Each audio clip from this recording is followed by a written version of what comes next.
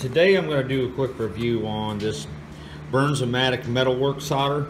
I'm pretty sure I used this stuff once before and it was horrible. I do like the 430 degree Fahrenheit aspect of it. Now it says silver bearing. That's kind of hype in my opinion sometimes because the fact they didn't give us the actual ratio is kind of uh, ticks me off a little bit. It's a little bit fraudulent in my opinion.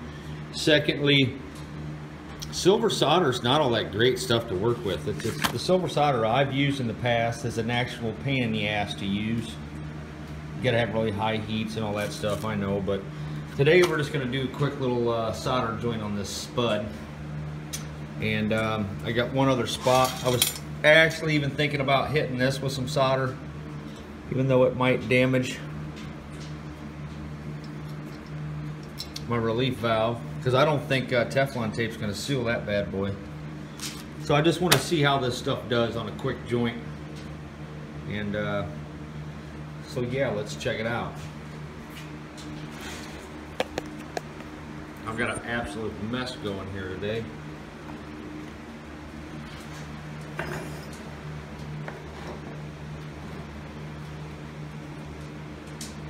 I kind of think I need to put a needle valve on here instead.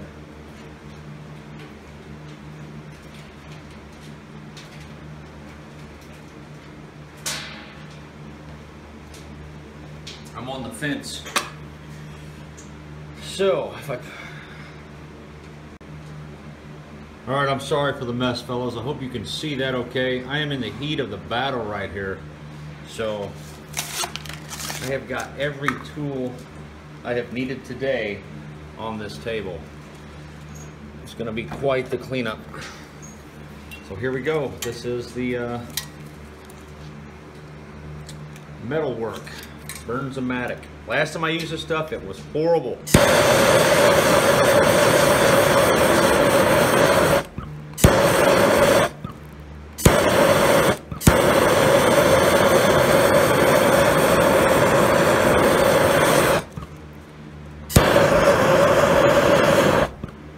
It's acting a little better this time around.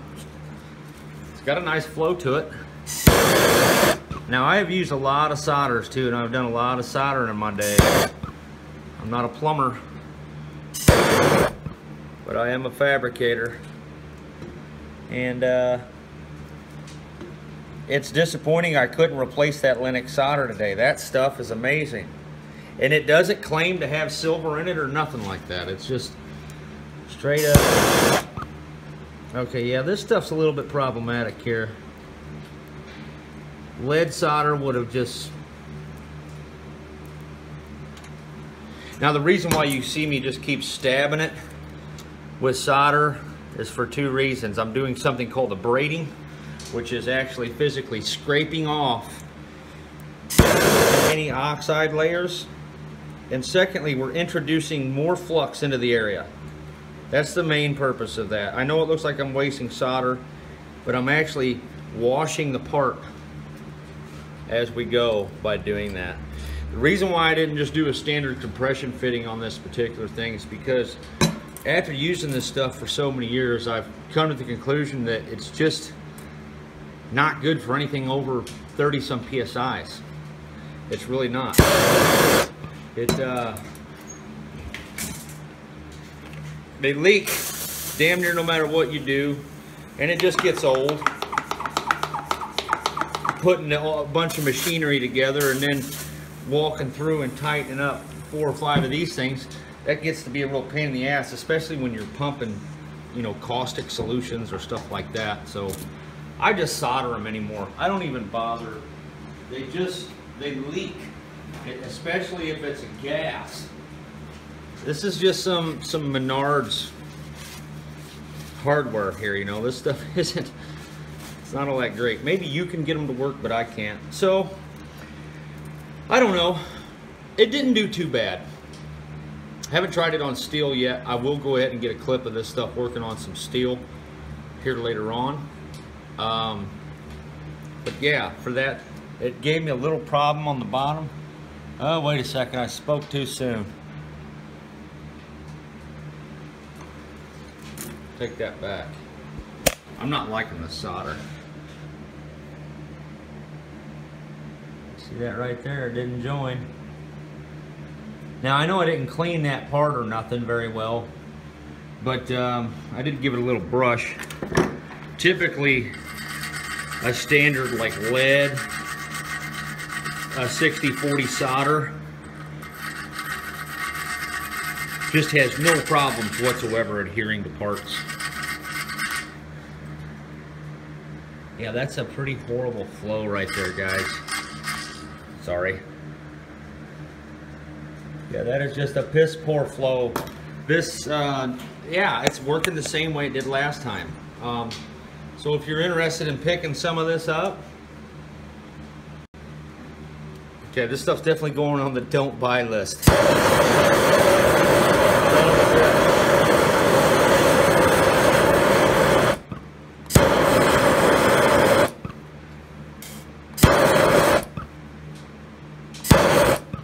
Yeah, lead, some good lead acid would have uh, sealed that bad boy up right quick. So no, failed the test. Failed the damn test. I'm never buying this stuff again. If you want some good solder, fellas, this is the stuff. Now, I don't go lead free for environmental reasons. My purpose is, is health concerns. Sometimes I have to uh, do a little machining on stuff that I build, you know, and lead particles are just not a very fun thing to breathe in, in my opinion. So I've been staying away from the acid core lead solder, even though it, it, it is probably the best flowing solder there is, and that's why it's still around. For instance, this stuff right here, some uh, 60 lead, 40 tin. This is um, where is that made? Hecko? Anyway, this is some pretty good solder. But like I said, once you get it on the parts, uh, you're done. You can't grind on it or nothing. And it's very weak, very susceptible to heat shock, very low melting point. So I've moved on to this stuff here, and I'm just amazed how well it works. However, no store carries this. So I'm gonna put a link in the description of where you can get this. And I'm also gonna buy some off of Amazon. And I'm gonna do a little solder showdown to see what is the best stuff.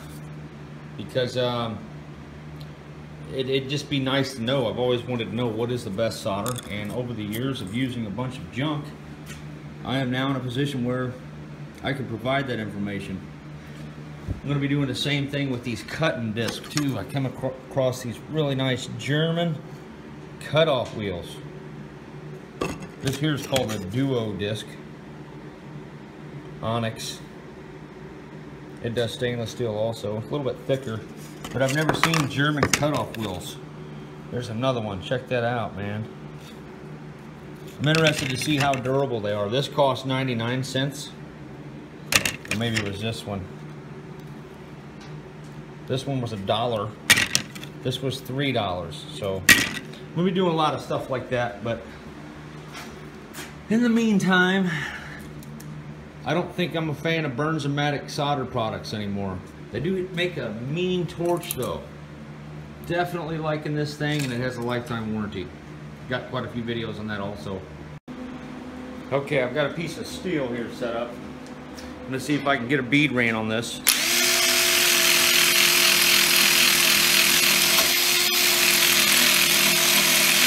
Should be able to solder on this, no problem, if this is a good solder. I mean, after all, it says Metalworks on it.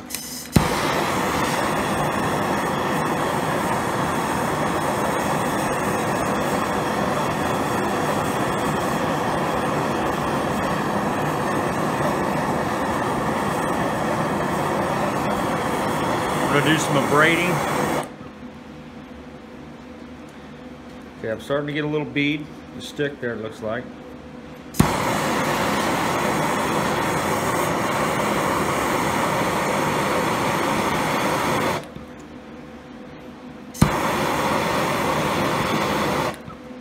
I don't know.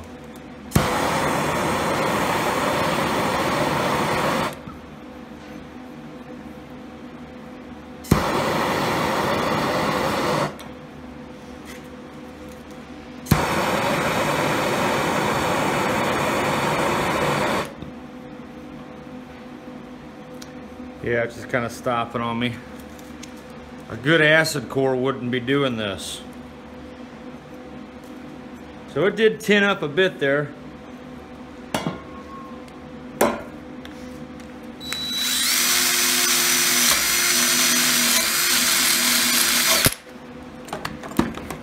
Actually, it didn't tin up worth a crap.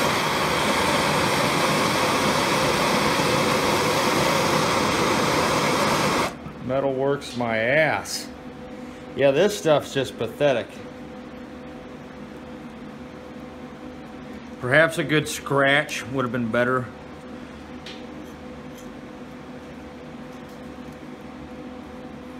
As I said, I know it looks like I'm wasting it, but I'm abrading and introducing new flux at the same time. Yeah, I don't know, fellas. That, that ain't worth crap.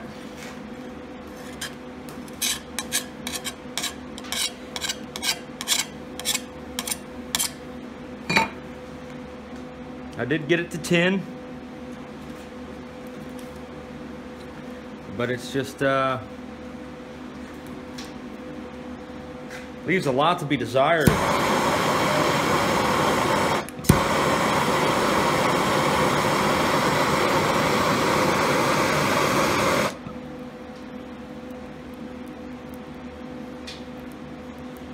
Yeah, it's just, it's real picky about where it's wanting to stick.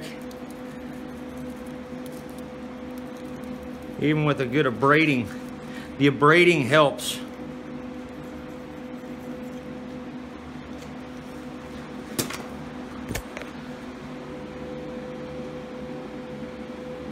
So we did uh, lay a nice little feed there. Man, that splattered hard. Still just not quality. Fairly poor performing. It will do it. Don't get me wrong. Um, it's not a total loss. Not a total loss. Didn't get any action at all on this piece of stainless steel I didn't even bother uh, recording that. But uh, at any rate, just worthy of noting, you might want to steer clear of this stuff. But if you have to, it's not the worst thing in the world. It's a little bit better than some. It's better than the other uh, acid cores, the non-lead versions anyway. This is still the best yet. So there you have it. Just thought I'd share that with you. I'm, I'm going through the process of uh, trying to find out what is the best product to use in these scenarios and then cataloging that information. Now, fellas, before you beat me up too bad in the comments, I want you to understand something. What that demonstration showed was that this solder didn't work on a poorly prepared joint. Some of you may tell me that. The reason why I didn't prepare that joint is because I know lead solder well enough to, to know what it will and will not do. And I can tell you right now that regular acid core solder would have just soldered this stuff up, no problem, with no cleaning or nothing. I've had no problems with it. And this stuff, I did clean up some of these parts and it still didn't stick very well. But regardless of that, what I'm trying to say, I guess, is the fact that it didn't do well on a, a, a fairly poorly prepared surface tells me that it's not going to do well in, in some other scenarios as well. You just kind of get a feel for the stuff. This stuff probably won't silver solder metal very good. I'm gonna try that real quick, but um, it's it's just kind of a you get a sense of it. If it does really well on poorly prepared surfaces, it's gonna be a good solder. This stuff will do that. This stuff will not. So it's just, I'm not saying that um, it's the worst solder in the world. I mean, it, it did work, but you just got to really clean the parts. And let's be honest, who the hell has time to to do all that sometimes, especially when you're just building something. I mean, I just, I want to get this damn thing together. I don't have time for all that nonsense, but uh, just a thought on the subject.